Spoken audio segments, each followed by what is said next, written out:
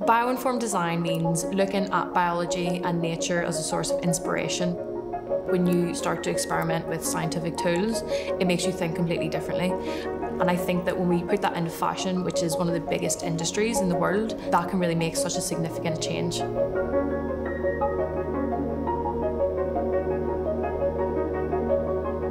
My name is Cassie Quinn and I'm the founder of CQ Studio, which is a regenerative fashion lab. My work really looks at designing sustainable fabrics for fashion, uh, using a range of natural sources from flax and algae to food waste. Biomaterials are non-invasive on our planet and the environment and it's really important that we have materials that we're using that will biodegrade and become part of the earth rather than destroying it. So your t-shirt could then be the food for a sunflower.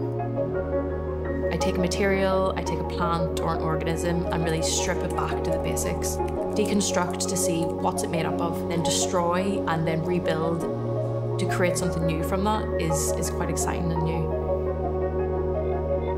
We need to actually show that this can work in the clothes and the products that we use on a daily basis. So it is for me about making it just as fun and as creative and as fashionable as possible. I think that we can take action for climate by looking at what our clothes are made from. Changing to be completely natural can make a significant impact.